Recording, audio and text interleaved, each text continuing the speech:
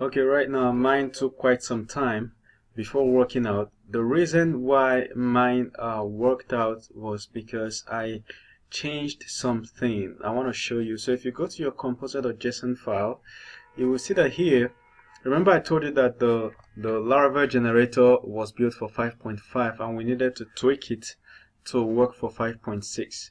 So if you look at this, the rest of this was copied from Laravel generator so what I did was that the only one I changed to 5.6 was Laravel generator, only this one, only this line. The rest of these lines, I returned them to 5.5 where they were. Uh, you understand? So if you don't return them, your installation uh, might not complete. Your composer updates might be running into errors, alright? Okay, so now we have um, sorted that out. Let's continue with the installation. So um, we've already copied this into config app now the next thing we're going to do is to run php artisan vendor publish. So we copy that and we right click, then we paste, then we vendor publish. So um, it's going to ask us a couple questions. Number one is which provider or tax files would you like to publish? I'll just put a zero.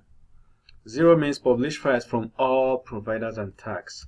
So that's zero. Hit enter and um, you see publishing complete. Alright so let's continue the installation. Now the next installation says API routes. Says we should go to app providers route service provider and um, replace whatever whatever we have there with this. So I'm gonna copy this.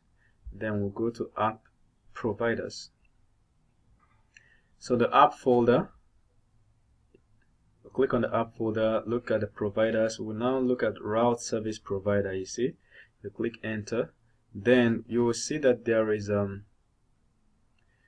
this already exists, but we need to overwrite it with this, Control V.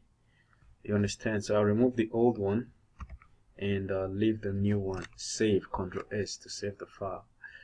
Alright, so we're still continuing the installation.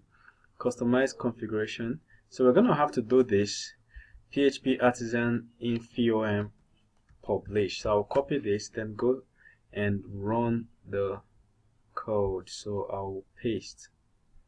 Hit enter.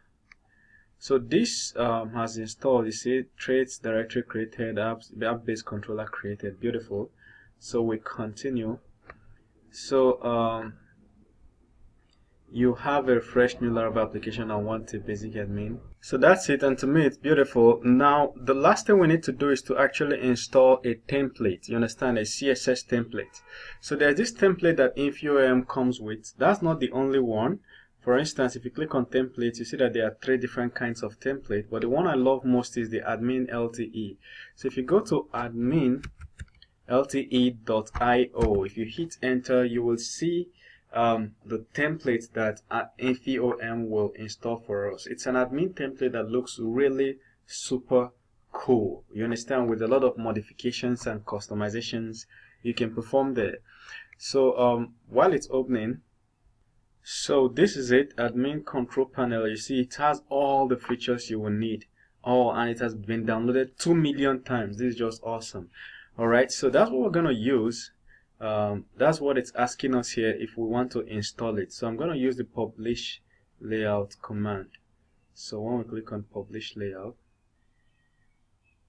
so um, if we scroll down we'll see that there's just one command we need to run on our command prompt. So I'll copy it go to my, go to my command prompt right click and paste and hit enter so once you run this, it's asking me, should it replace, there are some files that Laravel has already created. Remember when we first uh, run, run PHP artisan make auth, we were able to log in. That login page came with Laravel. That's what it's asking me right here. Should it redesign it? So I'm going to say yes. That's Y for yes. As you can see here, it's telling me Y for yes and N for no, or I'll type yes. So I'm going to say yes replace that then replace that replace that replace that replace that replace that. It should basically replace all the files for me. Beautiful. Now everything is replaced. If we go and um, check now we'll see that app now runs well. So look at it. Um, localhost slash 8000 you will see a different um, design uh, if we click on login right now this is the still this is still the default Laravel design but if we click on login guess what? Beautiful nice cool design. Thank you very much. See you in the next video